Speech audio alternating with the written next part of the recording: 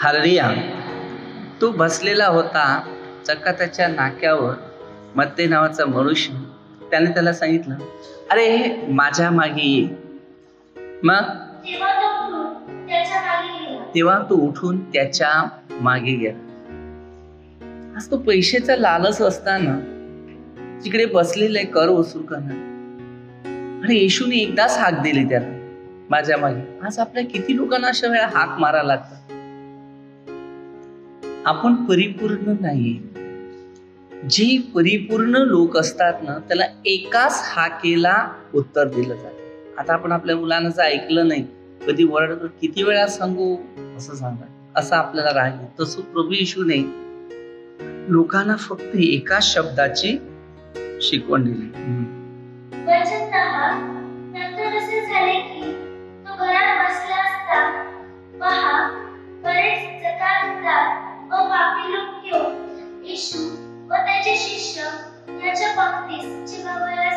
बघा. आता बसायला गेले तिकडे पंक्तीस बसली जेवायला. मग काय सांगते?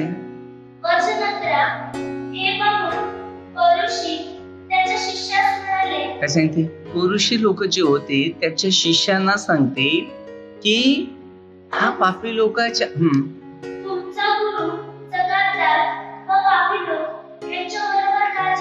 काय सांगते? तुमचा गुरु काय सांगते? चकातार व पापी लोक यांच्या बरोबर जेवायला कसाला बसलाय?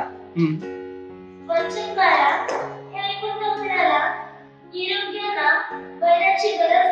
काय सांगते? निरोग्याला वैद्याची गरज नाही. बघा जे आजारी असेल तरच डॉक्टर लागतो ना. बिना आजाऱ्याला डॉक्टरांची गरज नाही.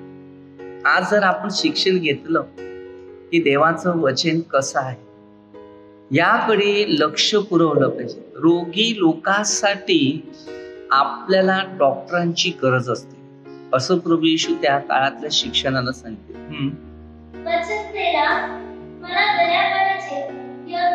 मला दया पाहिजे. यज्ञ नको. येशूकडे यज्ञ घेऊन येतात. खोटं बोललेलं चोरी केलेलं लबाडी केलं सगळं काय आणून ठेवतात देवाला खुश करायला बघतात मी माझ्या खोटापणाचा पैसा कमावून आणून ठेवतो मंदिरात. दे घे. पण प्रभू येशू त्याच्यात खुश नाही. तो सरळ भाषेत सांगते मला दया पाहिजे येत नाही. म्हणजे तुम्ही दुसऱ्यांना गरजवंत आहेत त्यांना मदत आज समाजात काय चाललंय हे लोकांना कळत नाही. पापात संपूर्ण वेळ लोक घालवत आहेत. आज लोकांना प्रार्थना म्हणजे झिरो पॉईंट वाटत जर जीवनात जगायचं असेल तर फक्त प्रभू येशूची एक हाक मारा एक वेळ. निर्मय तेहतीस ती उत्तर मिळणारच तुम्हाला. आज लोक प्रभू येशूला हाक नाही मारत. म्हणून आज हे परिणाम असा आलेला आहे की आपण विचार करू शकत नाही.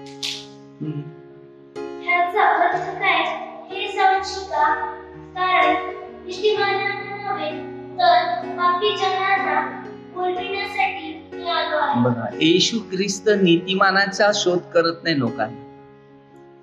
तर पापी लोकांस बोलवण्यास आलेला आहे. आता जेवढे लोक पाप करतात त्यांनी पाप सोडावं पवित्र जीवनात प्रवेश करावं आणि पवित्र जीवनात त्यांनी आपल्या जीवनाचा अनुभव घ्यावा. मग आज आपण देवावर श्रद्धा ठेवतो किंवा विश्वास ठेवतो न पश्चाताप करतो न मन परिवर्तन करतो तर तेव्हा त्याला परमेश्वराचा अनुभव येतो. धन पैसा आणि संपत्ती ही आपल्याला सुख नाही देत. देणार आहे परमेश्वराचे शब्द परमेश्वराचं शिकवण आणि परमेश्वराचे नियम. हे जसे आम्हाला मिळतात तसं आम्ही परमेश्वराच्या आज्ञात जावात असतात आणि तिथेच परमेश्वराचा आशीर्वाद आम्हाला मिळतो.